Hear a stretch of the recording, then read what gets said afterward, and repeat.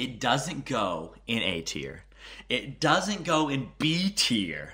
It doesn't go in C tier. It doesn't go in B tier. It doesn't go in E tier. It doesn't go in F tier, S tier. It goes in F. Now, before y'all get mad at me, this is why. Cats are like, okay, they're the worst pet. They don't like you. They don't want to be pet. They're antisocial. They scratch you. And you still like take care of them, but you you you, you have to feed them, you have to water them, you have to change their litter box, and you never see them. You never see them. And on top, I'm really allergic to cats. They are they they they are no.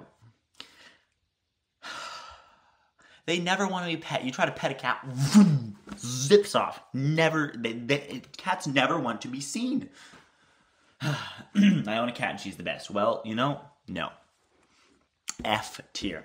Cows, on the other hand, easy S tier, above chickens or ducks. S tier all the way. Cows are not the same as cats. Dogs love you. Dogs will sit on your lap. Dogs, when, when you get home, does your cat ever come running up like, oh my goodness, he's home? What does your dog do every time you show up to your house? He's like, oh my goodness, he's home.